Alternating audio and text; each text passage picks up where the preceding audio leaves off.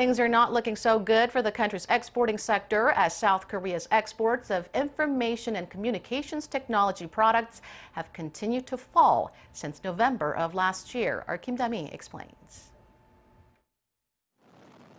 South Korea's exports of ICT products declined once again in February, mainly due to sluggish overseas sales of semiconductors.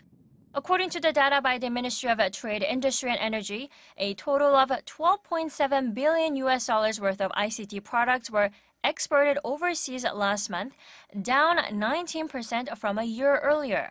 This is the fourth month in a row that ICT exports have fallen.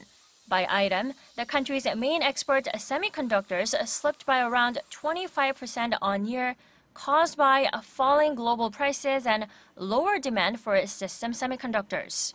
Heated global competition against other exporters, including China, has led to a decline in exports of displays, especially LCD panels. Exports of OLED panels, on the other hand, jumped by around 8% on year.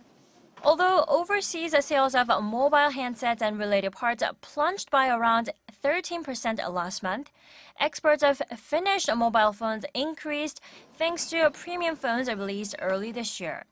By region, ICT exports to China, including Hong Kong, dropped around 30%, whereas sales to the U.S. increased by 21%. Kim Dami, Arirang News.